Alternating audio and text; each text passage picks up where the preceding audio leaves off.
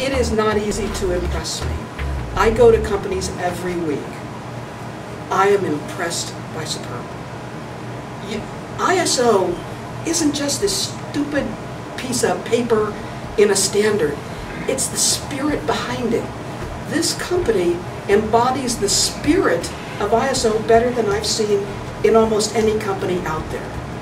The spirit of ISO is working with your, your workforce so that it's not management versus labor. It's a cooperative endeavor with everyone that's mutual respect and mutual knowledge. This company embodies that better than I've seen virtually anywhere. I'm impressed by it. But one thing that I, I like to focus on in the comments that I have um, for the next couple of minutes is what she highlighted. And my comments tonight are going to be entitled Defending the Spirit of Superb. And I'll give you three words that will answer the question of how and why as a takeaway. Notice, and I thought it was very significant, that her comments and what she was impressed with was not the new plaza that we had built, although I'm sure she liked that. It wasn't even our technology, although I, you know, that is important. What she found to be very different about Superb Industries was the people, the team, the honesty, the positive attitude, the spirit, as she described it, and how you embody what ISO should be, and in most cases is not. So that gave me pause to ponder because one of the things that I am personally very concerned about and am very jealous in a good way about, and that is that we maintain the culture that is that embodies what she saw. Hence, my comments are entitled Defending the Spirit of Superb. I'm going to ask all of us, I'm going to challenge all of you to become a committee of one. Because uh, leadership, I believe, as Maxwell defined it, is, is influence, nothing more, nothing less. We all are leaders. We are all influential. It is only a question of what type of influence we are to the other team members that we have around us. So as our company grows, we need to all become a committee of one to defend the spirit that that auditor recognized when she audited us, audited us a couple of weeks ago. So I'm going to suggest three things. The first one is to be. To be superb.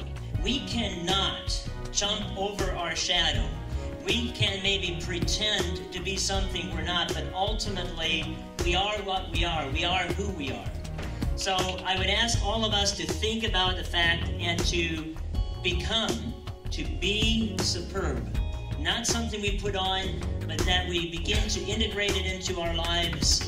An attitude of mind that is decisively for the concept of being the best that we can be everybody at Superb Industries can be superb. It doesn't matter if I'm Mary Ruth, who uh, we are all very thankful that cleans the floor, or if I'm building a big tool, or if I'm engineering something, we can all be superb in our own way.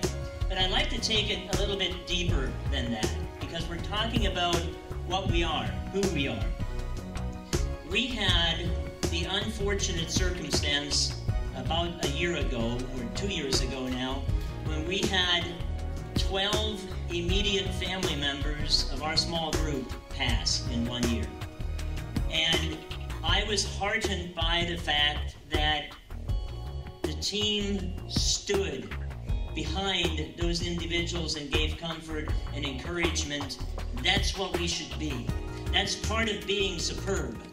That's part of being what many other companies are not. That's being what I envision the group to be. So if we take to, to heart being superb, what the next thing is to do, to take action, to defend. Okay, now I'm going to take this in a little bit different direction. And what I mean by that is when you see someone, someone, one of your colleagues, you know, we all have bad days. You have bad hair days. We're, we're human beings. We're superb. We're not perfect. we all need to be a committee of one to reach out to individuals and tell them, you know what, this is not superb.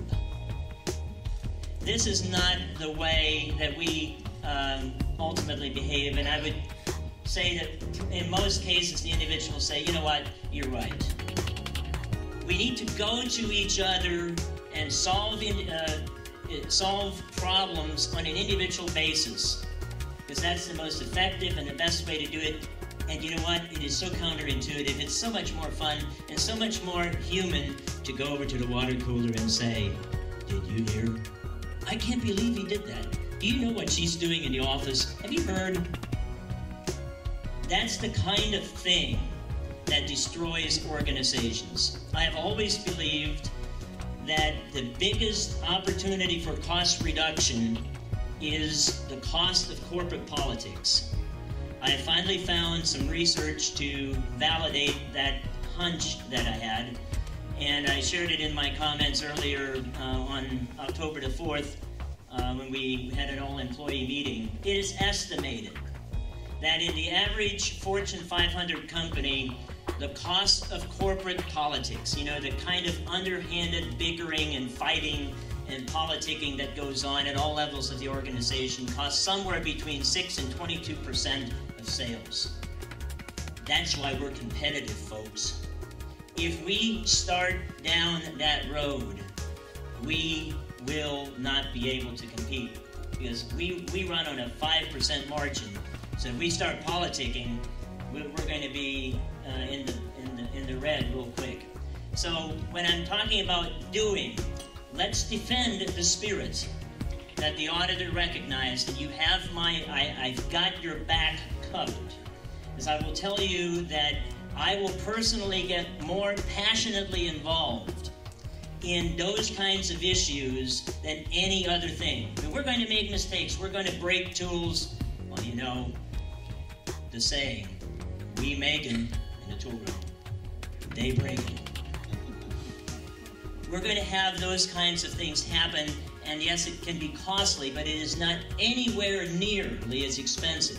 Figure out what 10% of $12 million is, and you can do the math. It's a lot of money that we cannot afford to lose over petty arguments. And finally, the final thing is benefit. Uh, be superb, do, and then benefit we have all been the beneficiaries of having the economic crisis be a non event. Yes, the first quarter of 2009 at Superb was difficult.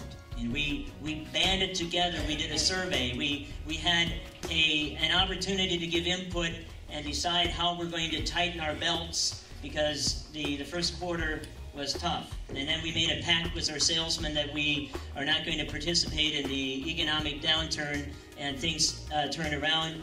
2009, when everybody else was down, we were up 25%. And we benefit. And I always say this be superb, do your best, be your best, because then you can go home and feel good.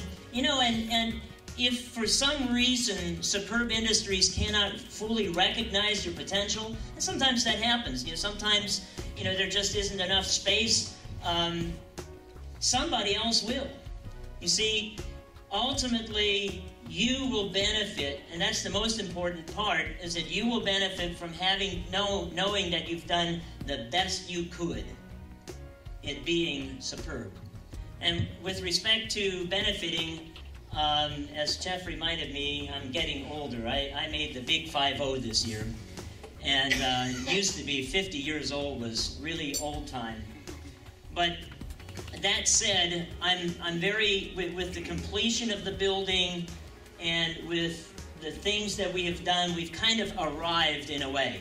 Because back in 1986, what, what he did not say is a couple of young guys with more ambition than sense started a company named Superb Design and Manufacturing in a two-car garage with a couple of Beto old grinders that would make Lee and Andy and um, Ed, uh, they, they, they, would not grind was the thing that we uh, started out with. We had more ambition than sense, but there was a spirit, there was an idea of doing the best we could with what we had where we are, and it has served us well over time. My passion from this point forward is going to be very simple, and it is to make Superb Industries the best possible organization that we can be for the benefit of all the stakeholders.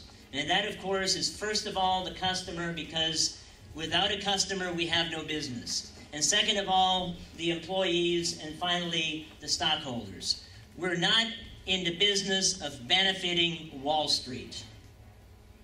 We're in the business of being superb, of growing and being better and competing globally. So that's my commitment to you. And again, I call on all of you to be a committee of one to defend the spirit of superb.